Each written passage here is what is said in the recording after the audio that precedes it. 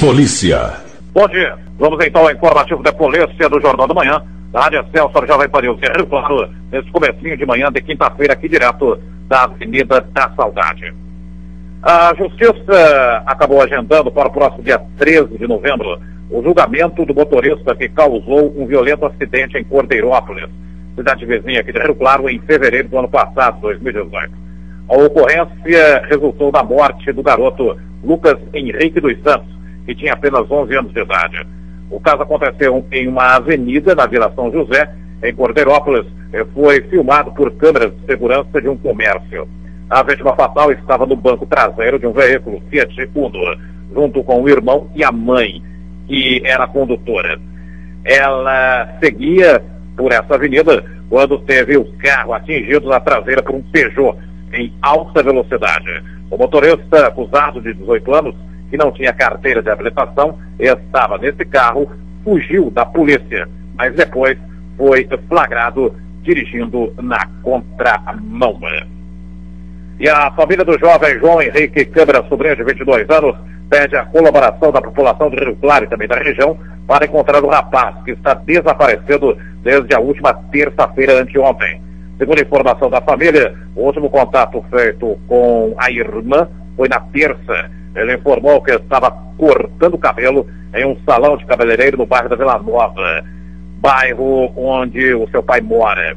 No estabelecimento comercial, porém, ninguém viu o jovem e nem o atendeu. O João, ele tem 1,80m de altura, é branco, vestia um short jeans e camisa do time de futebol do São Paulo e um par de tênis azul. Pelo menos a informação até agora é que esse rapaz não retornou para a residência. Qualquer novidade ou qualquer informação, ligar no 190 Polícia Militar, também no 153 Guarda Civil Municipal. E ontem no começo da noite recebemos uma informação que um menino de 12 anos de idade que estava desaparecendo foi encontrado pela família na região central. A informação está no jornal Cidade.net desde ontem no começo da noite. Agora as últimas da polícia, a informação aqui na Avenida Saudade, aqui ao lado da primeira C da Polícia Militar e também da Guarda Civil Municipal. Teve um flagrante, mais uma, flagrante de tráfico de drogas na Avenida 14, Jardim Novo 2, aqui em Rio Claro, parte sul da cidade, ontem 5 e 15 da tarde. Aquele tempinho ruim, aquele vento forte, friozinho, o indiciado, um traficante de 19 anos de idade. A Polícia Militar fazia patrulhamento e conseguiu deter esse rapaz que atualmente está desempregado. Com ele, os policiais militares apreenderam uma pochete, 52 reais em dinheiro, também uh, foram apreendidos 35 invólucros de cocaína, 24 pedras de crack, dois tijolos de maconha e mais 47 porções de maconha, a erva verde, a erva maldita. Segundo a informação da Polícia Militar, o indiciado disse aos policiais que estava no tráfico de drogas para quitar alimentos. Entendi bem direito isso, mas é o que está no boletim de ocorrência, segundo a versão do acusado. Quitar alimentos. Roubo contra transeunte aconteceu próximo do bairro Chacraluz, às 7h20 da noite ontem. A vítima foi uma mulher de 40 anos.